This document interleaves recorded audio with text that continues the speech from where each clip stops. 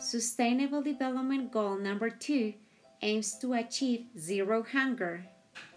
Some people have so much food they throw part of it away, while others have too little. What can you do to prevent food waste in your home? Here's what you can do about it. Plan your meals. Buy only what you need. Research recipes to use the leftover ingredients. Eat all your food. Support small farmers. Prevent natural disasters by planting some trees. Take action.